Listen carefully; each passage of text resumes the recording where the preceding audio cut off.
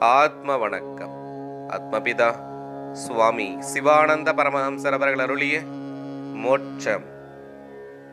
ஜீவசக்தியாகிய வாயுவிற்குத்தான் ஈஸ்வரன் என்று சொல்லுவது. அதனாலாகும் ஈஸ்வரனுக்கு நாம ரூபமில்லை என்றும் உள்ளும் வெளியும் அதாவது அகமும் புறமும் அடிமுடியும் அதாவது ஆதி அந்தமும் இல்லாமல் சர்வ வியாபி என்றும் உள்ளிலும் வெளியிலும் நிறைந்திருக்கின்ற பொருள் என்றும் சொல்ல காரணம்.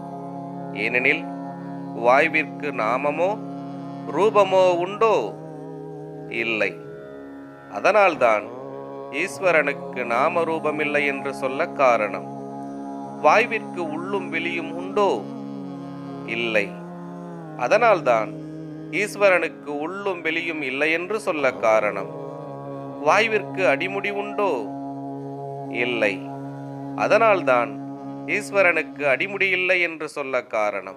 எனில் வாயு எப்படி இருக்கின்றதாகும்? சர்வ வியாபியாகும். அதனால்தான் ஈஸ்வரன் சர்வ வியாபி என்று சொல்ல காரணம்.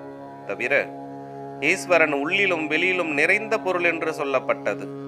உள்ளும் வெளியும் இல்லாத பொருளிற்கு உள்ளிலும் வெளியிலும் நிறைய இயலுமோ? இயலாது. எனில் நாம் இல்லையானால் நமக்கு உள்ளும் வெளியும் உண்டாகுமோ? உண்டாகாது.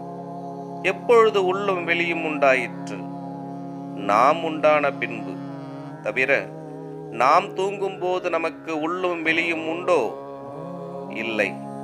எப்பொழுது உள்ளும் வெளியும் உண்டாகின்றன? தூக்கம் விழித்த பொழுது. அவை எங்கிருந்து உண்டாகின்றன?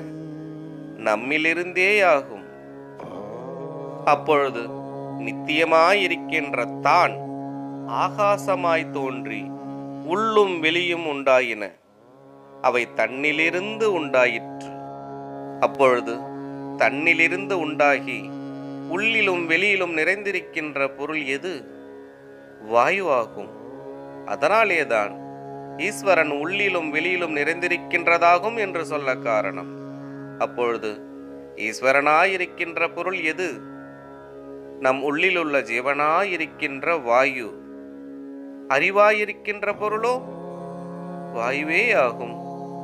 காப்பாற்றுகின்றவராக இருக்கின்ற பொருளோ? அதுவும் வாயுவே. அப்பொழுது ஈஸ்வரனாய் அறிவாய் காப்பாற்றுகிறவராய் இருக்கின்ற பொருள் வாயுதான் என்று வெளிப்படுகிறது. அதை நாம் அறியாமல் கல் மரம் முதலியவற்றால் உண்டாக்கிய பிரதிமைகளை அதாவது பொம்மைகளை ஈஸ்வரன் என்று சங்கற்பித்து நம் உள்ளில் நிலைத்திருக்கின்ற ஜீவசக்தியாகிய வாயுவை அதோகதியாக்கி அதாவது கீழ்ப்படுத்தி வெளியில் விட்டு தீரும் பொழுதாகும் நாம் செத்துப் போகிறது. அதனால் அதை வெளியில் விடாமல் தன் உள்ளூடாக நடத்தி ஈஸ்வரனிடத்தில் சேருகின்றதாகும் மோட்சம். இதற்கே ஈஸ்வர சேவை என்று சொல்லுவது. ஆத்ம வணக்கம்.